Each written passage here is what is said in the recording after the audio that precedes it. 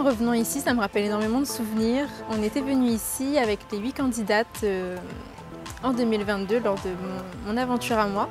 Et on avait fait nos portraits ici et c'est vrai que ça me rappelle de très bons souvenirs et, de très bons moments partagés avec les filles.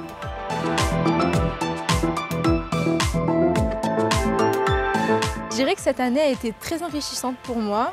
Euh, je m'en sors grandie grâce aux rencontres que j'ai faites euh, tout au long de cette année en tant que Miss Saint-Joseph. Le grand soir, c'est vrai que c'est très stressant, le stress est là, mais il faut se dire tout d'abord qu'on est là surtout pour s'amuser et vivre une aventure humaine. Donc ce petit stress qu'on a, il faut en faire une force. Euh, pour ma part, ça s'est très très bien passé. Il y avait, c'est pas tout, tout, le temps parfait non plus, mais je suis très fière de moi et euh, je, retire que du positif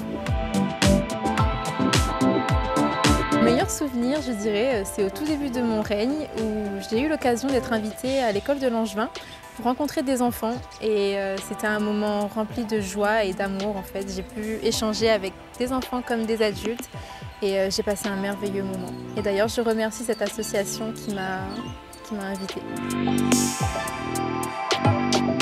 De voir les gens m'appeler dans la rue, me reconnaître, bah, ça fait énormément plaisir et aussi de voir les yeux des petites filles, les yeux des enfants briller lorsque, bah, lorsqu'ils me voient, bah, ça, fait très plaisir parce que c'est...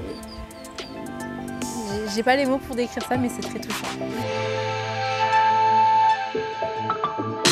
Je rends ma couronne demain soir, mais euh, je resterai disponible auprès de la, fille qui me succédera demain soir. Et même pour les filles qui ne, seront pas forcément, titrées, pardon, euh, je, serai, je, resterai auprès d'elles et si elles ont besoin de quoi que ce soit, d'un conseil ou de parler, je serai là à leur disposition.